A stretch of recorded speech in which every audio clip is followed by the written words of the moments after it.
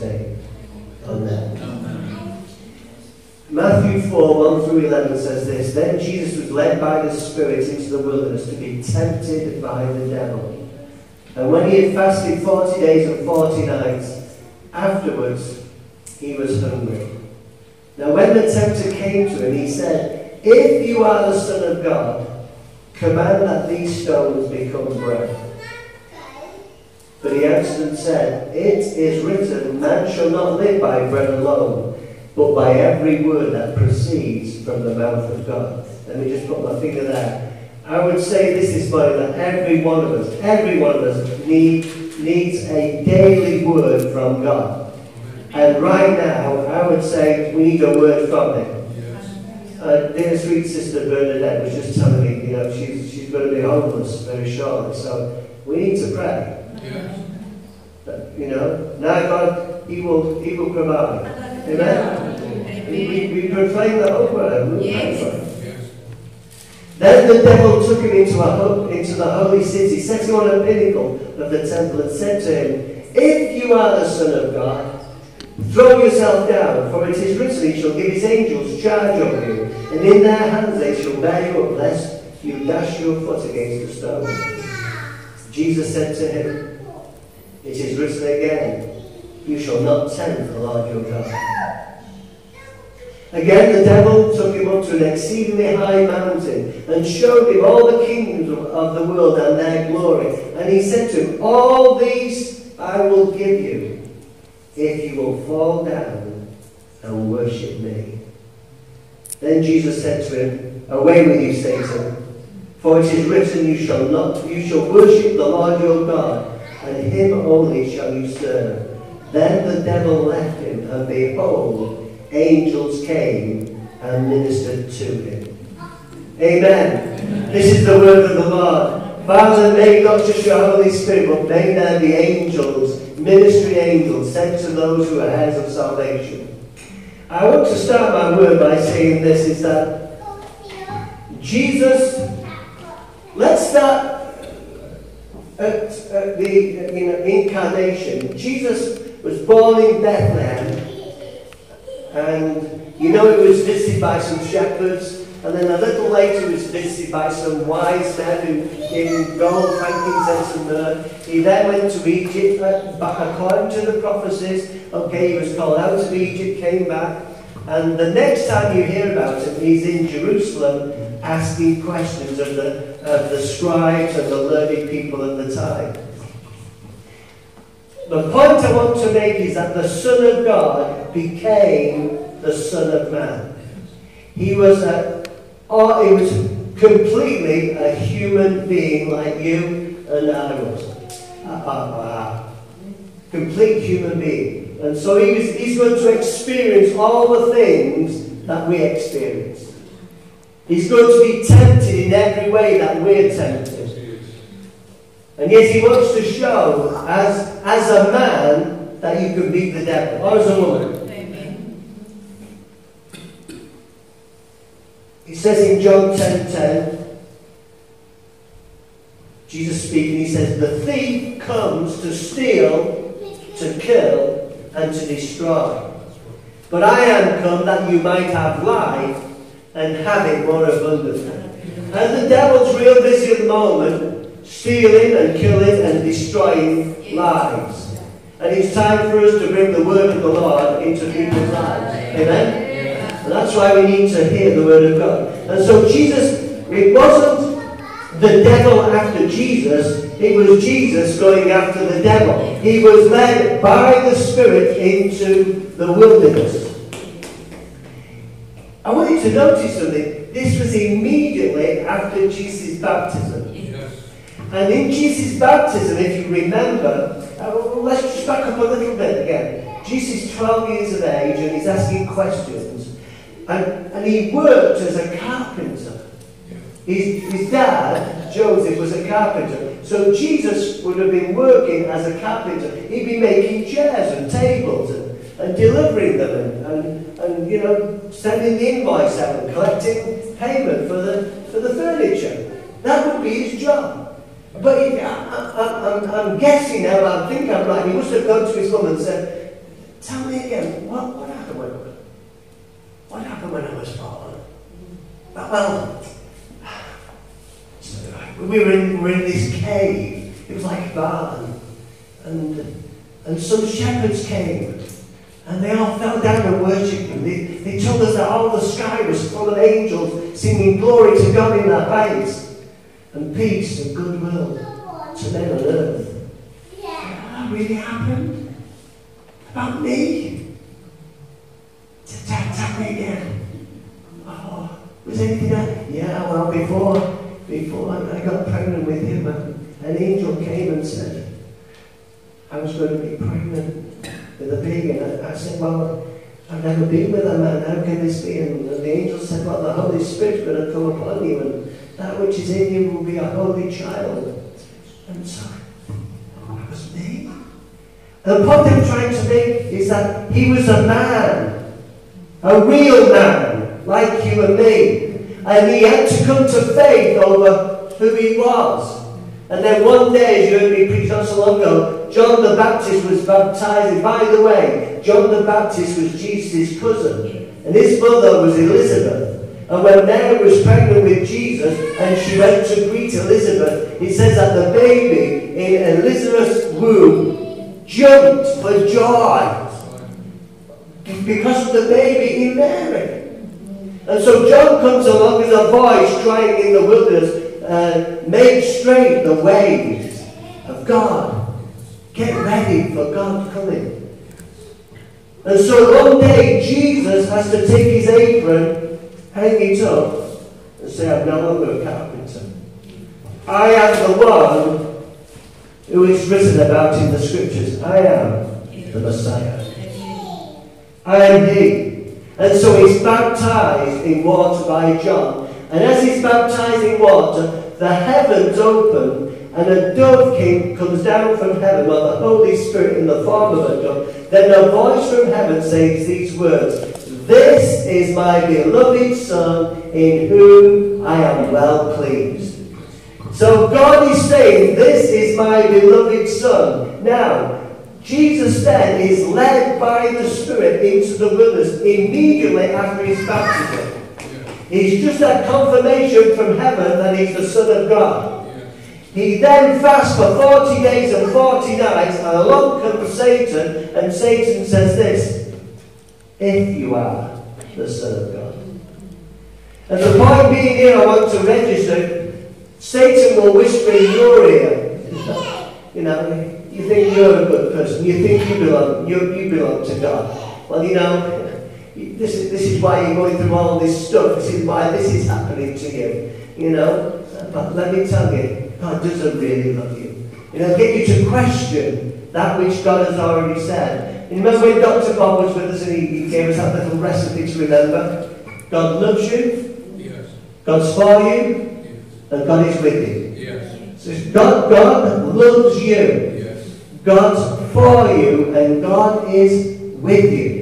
So whatever you're going to go through, now Jesus is going through a tough time. The Bible says that he was hungry. It was when he was at his weakest. But when you're at your weakest, it can feel like you're in a wilderness. But a wilderness is a place where yours and my motives get purified. The wilderness is a place where you get backbone. The wilderness is a place where your calling gets clarified. So the wilderness is not necessarily a bad place. Now, you might say to me, John, it feels really bad in the place I'm at right now. I want to say this, I know. I feel it. I know. I enter into your will, and there have been times in my life when I've been there too, exactly the same.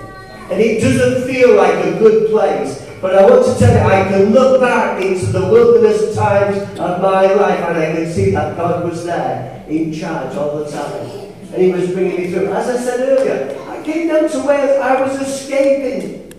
We were escaping from so many things. I was escaping from the pressures. I felt crushed, so crushed, and I was absolutely heartbroken. But God stepped in. And by the way, it wasn't a quick fix. But the Spirit led Jesus into the wilderness. And the Bible tells me that in Romans 8, 14 through 15, for as many as are led by the Spirit of God, these are the sons of God. For God did not give, for you did not receive the spirit of bondage again to fear, but you received the spirit of adoption by whom we cry out, Abba, Father. Find me there, you have a Father in heaven who sees you right now. And he loves you right now. And he wants the best for you right now. And you might think, well, how's all this going to work out? I want to tell you, he has a wonderful way of making things work out. You just have to trust him. You just have to trust him that everything's going to work out. So Jesus was led by the devil, uh, led by the Spirit to face the devil. He was going to have to face him as the Son of Man. Life, I've found, is, is a process of going through things. And I look back in my life, and I, I said this to somebody just this morning. There are things that happened in my life, and I can't change it. And there are some things that I did, and some things that were done to me, and I can't change it. But I can choose to live now. Yes, Did you hear that? No, you, you've got to listen. You've got to hear that. I don't just mean hear it with this. You've got to hear it with this. You've got to hear it in here. There are things that happened in my past, and they happened. There's nothing I can do about it. It happened. And some of the things I did. It was, and, and some of the things were my fault. Yeah, right. But there were some things that were done to me by other people and I didn't do anything. And, and, and I can't change those things. And so here I am today, I have a choice. Do I become a victim of all those things? Do I, do I say, well, this has happened to me and it's poor old me? Or do I raise my head and lift up, up and say, there's a God in heaven who loves me, who cares for me, who said, cast all your cares upon me, for he cares for me. And he might not feel it because you feel so low and so bad and so down and so out of it. But I want to tell you, he does care for you. Yes. And he is in charge. Amen. And you might think that all hell's been let loose, but let me tell you, he's in charge. And if someone's got a problem, it's not you, it's Satan. Yes. The one who's trying to steal, to kill, and to destroy you. He's the one who's got the problem. All you have to do is what the Bible says, says resist the devil and he will flee from you. All you do is you have to resist him. The answer, Satan, the answer is no. The answer is be God. Humble yourself under the mighty hand of God, and He will exalt you in due season. I'm coming away from my words somewhat. There's always a temptation to be in control and self-sufficient. The tempter came and said, if you are the Son of God. Forty days earlier, God the Father had already told him who he was. This is my beloved Son in whom I am well pleased. If you're the Son of God, and I know you're hungry, if you're the Son of God, why don't you turn these stones into bread? Not like Jesus answered. Let me, let me just use some modern language. Listen, I know I'm hungry, I know I need that bread, but I also know it is written in God's word that man cannot live by bread alone, but by every word that proceeds from the mouth of God. And so God's got a word that will sustain me. Yeah. If you remember when Jesus was uh, at the well in John chapter 4, do you remember he was at the well with a woman? It was a woman who she'd had five husbands, and the man she was living with, five men was her husband. And Jesus asked her, asked her for a drink. Can you, can you give me a drink? She was a Samaritan. And she said, What are you doing talking to me, being a Jew? Samaritans have no dealings with Jews. He said these words to her.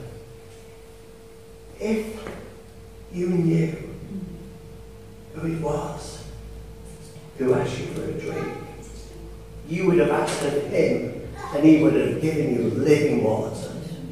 And she's still clueless, she still doesn't know. But if you go through the story, we haven't got time now, she says, I know that one day the Messiah is going to come. And Jesus actually says these words The one who's speaking to you right now, I am He. I'm the Messiah. I'm the one. And you have to really trust in the Messiah. But there's always a temptation to be in control and to be self sufficient. But Jesus wouldn't allow that. He was going to trust in his God. I've quoted this, but 1 Peter 5, 6 through 7 says this Cast all your cares upon him, for he cares for you. It's been my experience that in my life that I've been to God in prayer and I've cast my cares before him and then I've taken them back. no, that's not the way you do it. You cast your cares upon him. Why? Because cares for you. He's caring for you right now. And he sees your heartache, he sees your heartbreak, he sees your struggle, and he wants you to know, I love you, and I will help you resolve this issue. I'll carry you through it.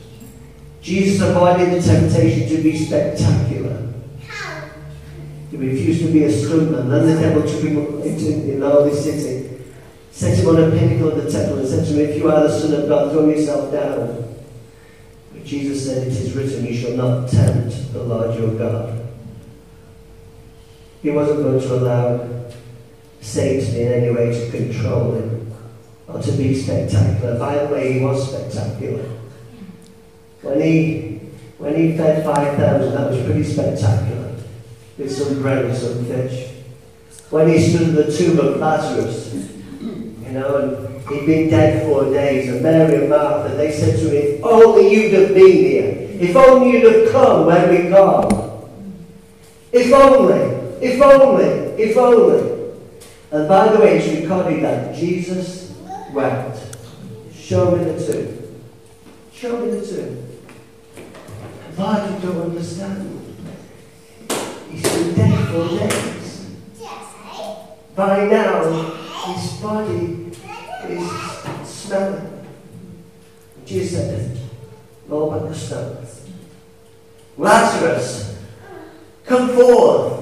And by the way, it was a good job he said Lazarus, because if he'd have said, come forth, everyone who died would have come forth. He had to be precise in who he was calling. Lazarus come forth, and then all of a sudden, the one who had been dead four days walked out of the tomb alive. Alive! He was alive! And by the way, that was in John chapter 11. Get to John chapter 12. You find that he's there having dinner with, with the one who's raised from the dead, Lazarus, and the leper, Simon the leper, who's been healed. I bet the conversation around that table is really good. Listen, when we've been through a time of testing, okay, and you come through the time of testing, it gives you a testimony, something to talk about. Lazarus had something to talk about. Simon the leper had something to talk about. You will have something to talk about because God brought you through it.